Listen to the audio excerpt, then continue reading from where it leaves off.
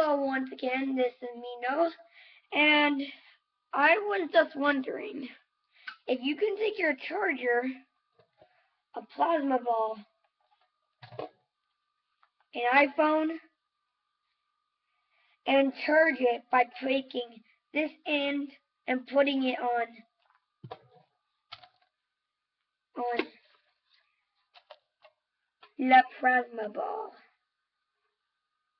Now, what is this mess thinking is it's kind it may hurt a little, but if I put this on there, holding this right here, I'm holding this right here. You see, I'm holding it.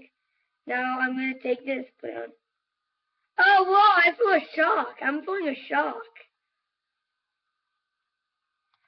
So I'm gonna see what may happen when I take this put this over there. Take this, plug it in right there. Take, turn this on. Now see what it can do.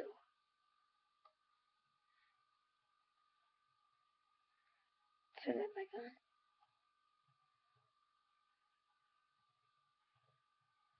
Wonder if it'll do anything interesting.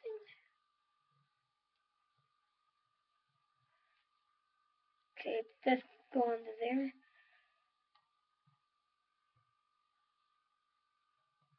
It's not doing anything. Well, it's not charging.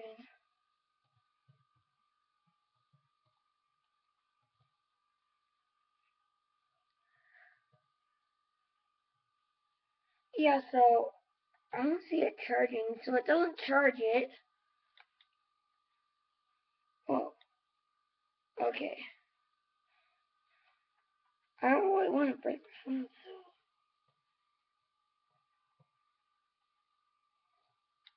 Whoa, did you see that? Look at that, it's dialing its, look it, do you hear that? Look it, hear it.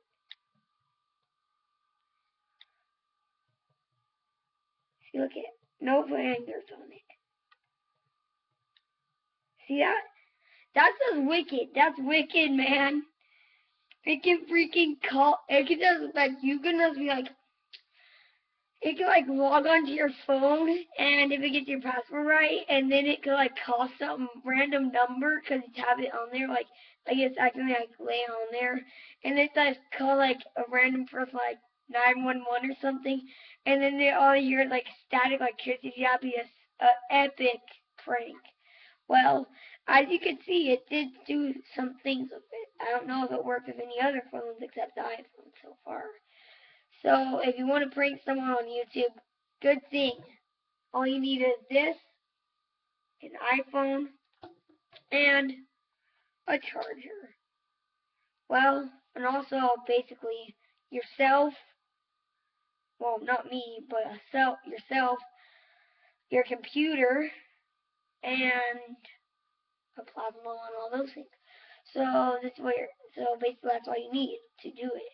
So see you later.